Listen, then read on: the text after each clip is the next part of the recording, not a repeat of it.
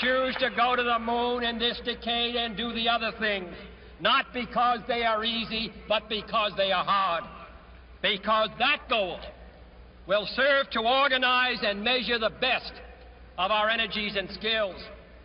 We stand at the birth of a new millennium, ready to unlock the mysteries of space, to free the earth from the miseries of disease, and to harness the energies, industries, and technologies of tomorrow.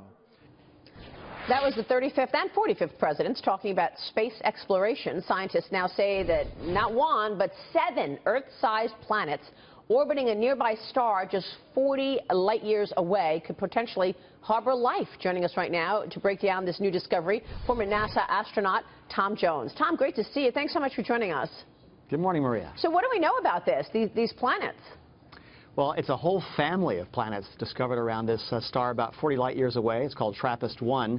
And the latest discoveries from the Spitzer Space Telescope show that there are seven worlds tightly packed, wrapped around in orbit around this star. And what's unique about this solar system, uh, mirror to ours, is that all seven of these planets are rocky bodies, relatively small, Earth-sized, and so they're in the right position, three of them especially, in the right position to have liquid water on their surfaces, and of course that's one of the fundamental ingredients for life. So this is a, a place that might harbor an Earth-sized world that's like ours in its ability to, to harbor life. That might harbor life right now? Uh, right. Uh, this is a, a, small star, cooler than our sun. It's only about the size of Jupiter. And so even though these worlds are closely orbiting it, uh, where you'd usually get fried by the radiation from that star, this cool star allows liquid water to exist uh, on the middle of these, uh, the middle three of these seven planets. And so this is a possible abode for life. We're finding more and more of these with advanced telescopes like the Spitzer Space Telescope that was used in this case.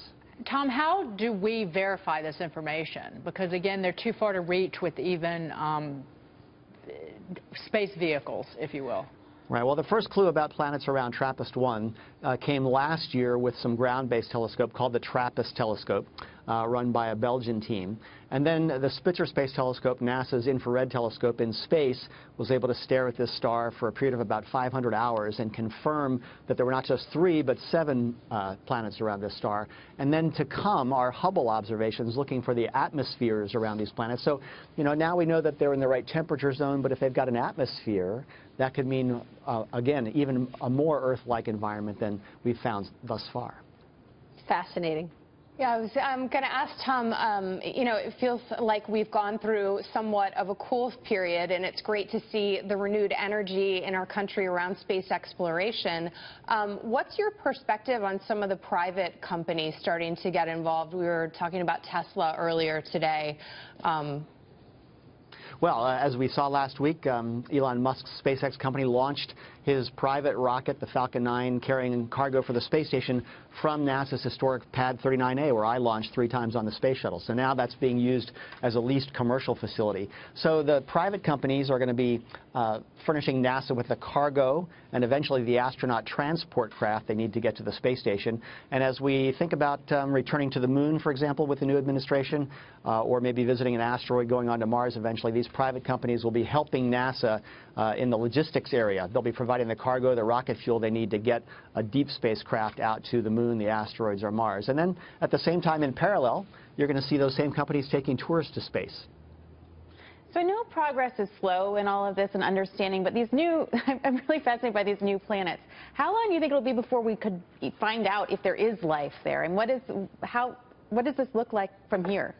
Really interesting question. Um, in about five years, we'll have the uh, Webb telescope uh, in orbit and that's got the sensitivity to look at the atmospheres of these new planets, for example, and to tell whether there are gases like methane, oxygen, water vapor in those atmospheres. And that will be the first detection of these chemical fingerprints of life. And so when we get to that step, within about five years, we'll be able to know whether uh, these worlds are not only Earth-sized, not only the right temperature, but they've actually got atmospheres with the chemical signs that life may be there. And then the, the next step, of course, is to actually image these planets with more powerful telescopes in the generation to come so we can take pictures of these worlds and see what they're really like up close. Wow, really fascinating stuff, Tom. We will be watching. Thanks so much for your insights on this. We appreciate it. Glad to join you. Thanks. Tom Jones joining us there at the